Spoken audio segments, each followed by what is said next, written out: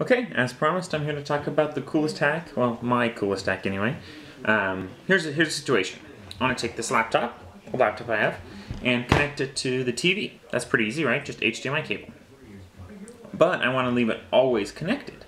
I found some pretty cool things. Um, there's an app that allows me to use my phone as a remote control for, for it. That's cool. I like that. Now, I can so that that makes it so I could just shut shut the computer and leave it always under the TV. That's pretty cool. Problem with that is turning it on.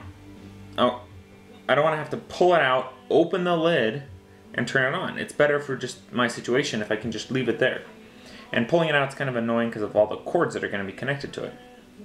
Okay, so I need a different solution. So I was looking into that and I found out that you can turn the set the computer to turn on and off on a schedule.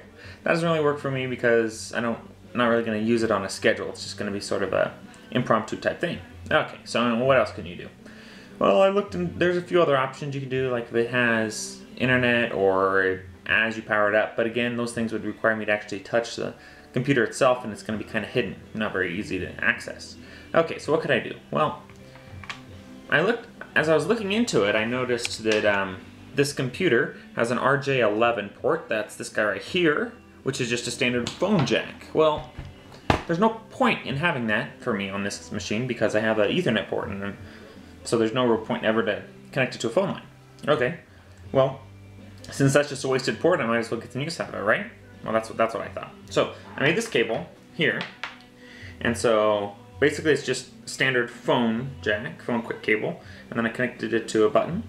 Okay, and so the idea is that I I re rewired the laptop here, so it uh, get can get powered from that switch. So if I I'm gonna plug it in and show you how stinking cool this is.